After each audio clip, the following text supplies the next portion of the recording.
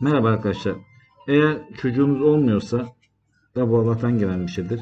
Bazı engeller varsa bu engelleri kaldırabilmek için yapılmış işlemlerimiz var.